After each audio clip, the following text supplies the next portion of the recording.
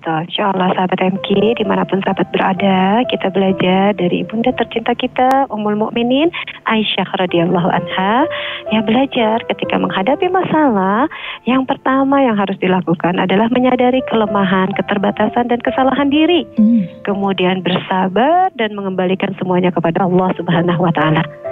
Yang kedua, baik sangka.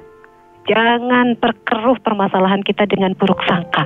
Ya. Yeah Kemudian yang ketiga, tunjukkan jiwa yang tegar dan lama langkahlah, berikhtiarlah untuk meminimalisir mudarat dari masalah yang ada. Kemudian yang keempat, yakin bahwa ujian ini tidak akan melebihi kemampuan kita dan yakin bahwa Allah akan memberikan jalan keluar yang terbaik. Ya, ketika rumah tangga Rasulullah dan Aisyah ini diuji, Allah apa istilahnya mau memberikan solusi itu sebulan dulu. Hmm. Diuji selama sebulan. Ah, Rasul iya. dan Aisyah saja sebulan. Betul. Baru kemudian Allah menurunkan surat An-Nur ya, iya. mulai dari ayat yang ke-11 sampai ayat ke-20.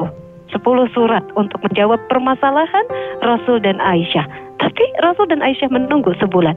Jadi sabar.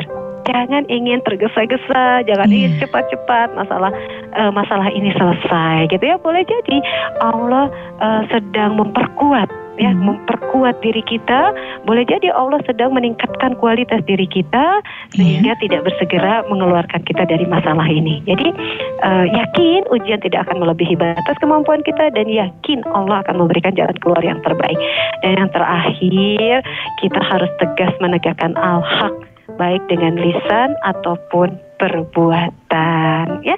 Jadi uh, kalau memang benar katakan benar, kalau memang salah nyatakan salah gitu yeah. baik dengan lisan kita, dengan perbuatan kita, dengan cara yang baik. Insya Allah ini lima hal yang diajarkan oleh Bunda Aisyah uh, ketika kita ditimpa dengan permasalahan atau ujian dan mudah-mudahan bisa kita teladani bersama Amin. sehingga kita bisa menjadi muslim-muslim yang tangguh ya ke depan insya Allah ya.